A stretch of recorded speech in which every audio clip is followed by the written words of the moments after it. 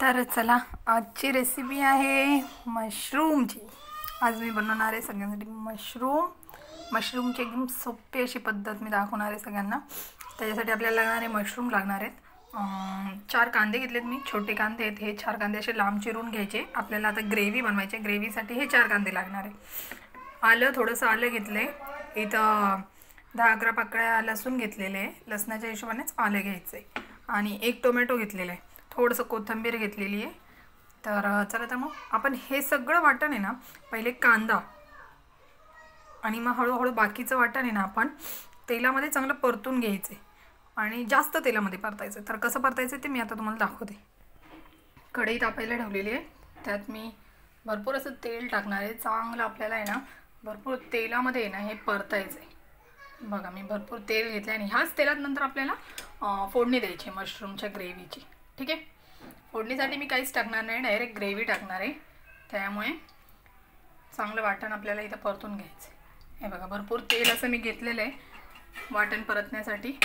आता मी ह्याच्यात कांदा टाकणार आहे. आणि मी काजू सांगायचे राहिले. चार पाच काजूचे तुकडे पण घ्यायचे जेणेकरून ना आपली ग्रेव्ही ना चांगली क्रीमी अशी होईल. छान असं क्रीमी टेक्स्चर येईल त्याला. ठीक आहे? आता आपण कांदा चांगला परतून घेऊया. कोथिंबीर सोडून बाकी सगळे घटक आपल्याला याच्यात चांगले परतून घ्यायचे. टोमॅटो पण. आता तोपर्यंत आपण हे मशरूम कट करून घ्यायचे. तर ते कसे कट करायचे आहेत मी तुम्हाला दाखवते. तुम्हाला जसे पाहिजे तसे तुम्ही कट करू शकता. छोटे किंवा मोठे पीसेस ठेवू शकता. छोटे पीसेस ठेवूया मी लांब लांब कापणार आहे. चला तर मग बघूया. हे बघा. तुम्हाला हवे तर बारीक पण कट करू शकता. हे कटिंग करता करता आपला कांदा तिकडे परतायचा आहे. कांद्याकडे पण लक्ष ठेवायचं आहे. हे असे लांब असे काप मी करणार आहे. आणि जर तुमची मुलं खात नसतील मशरूम तर तुम्ही ह्याला बारीक बारीक बारीक पण चिरू शकता. पण मी असे लांब ठेवणार आहे. बारीक चिरण्यासाठी तुम्हाला काही नाही. हे असे लांब काप करायचे.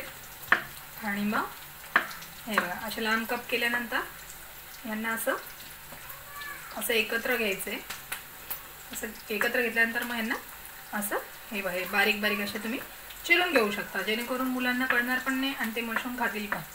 ठीक आहे? असे पण तुम्ही चिरू शकता. तुम्हाला जसं पाहिजे त्या पद्धतीने तुम्ही हे चिरून घ्यायचे. मी आता सध्या हे असे लांबच काप कापणार आहे. लांब लांबच चिरणार आहे. तर अशाच पद्धतीने आपण सगळे मशरूम आता चिरून घेऊया. हे बघा अशा पद्धतीने आपला कांदा चांगला असा गोल्डन असा परतून घ्यायचा आहे. जास्त जाळायचं नाही आहे कांद्याला. फक्त सोनेरी रंग येईपर्यंत याला परतायचं आहे आणि एक मी सांगायचं राहिलं माझं. मशरूम मी धुवून घेतलेत स्वच्छ पाण्याने.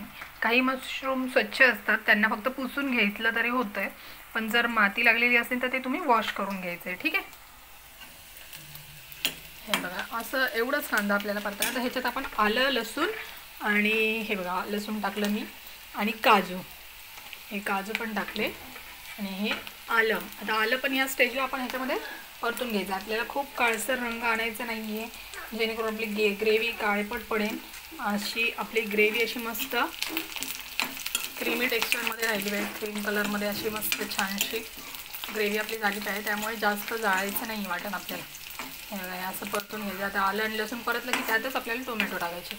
नाही आपला कांदा आता परतून झाला आता आपण टोमॅटो जरा मऊसर करून घेऊ भाजून घेऊ. ठीक आहे? या वाटणातच खरं टोमॅटो मऊसर करून घेऊ टोमॅटो ओला असतो त्यामुळे अंगावर तेल उडण्याची शक्यता असते. लांबूनच तुम्ही परतात आला चांगलं. टोमॅटो मऊ झाला का आपण गॅस बंद करून वाटण गार होऊ देऊया ठीक आहे?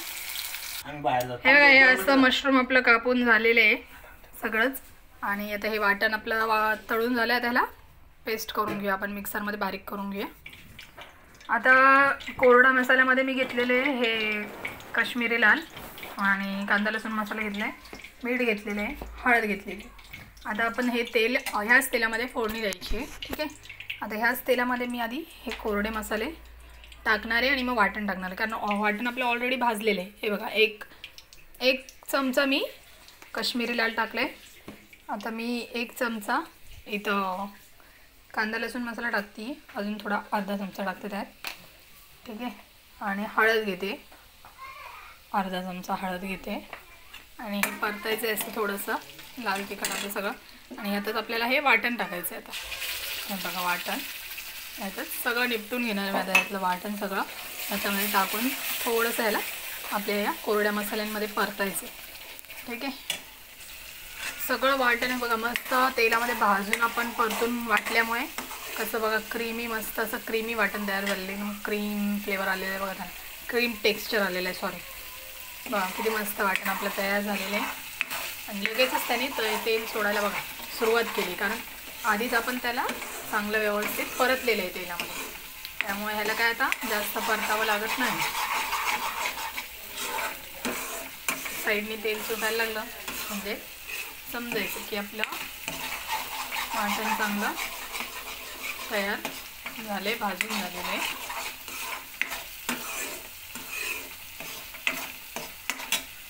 मग असं वाटण तयार करलं छान भाजून.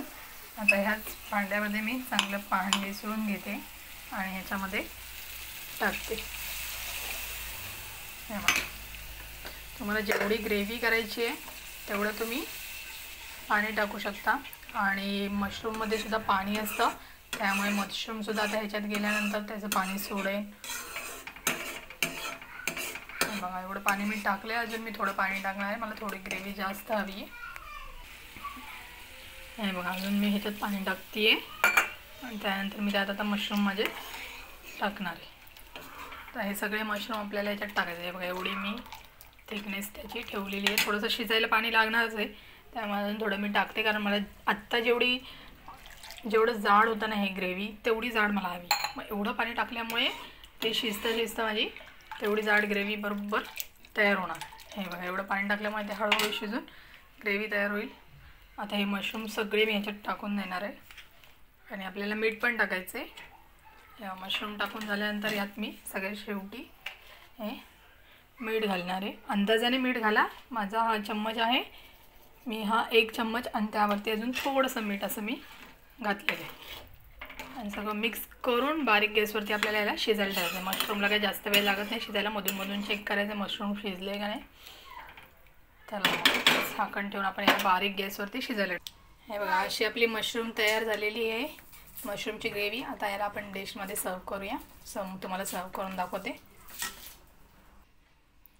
हे बघा अशी आपली ही पनीरची रेसिपी तयार झालेली आहे. मस्त चपातीसोबत किंवा रोटीसोबत तुम्ही याला खाऊ शकता. खूप छान लागते. नक्की ट्राय करून बघा आणि मला कमेंटमध्ये कळवा.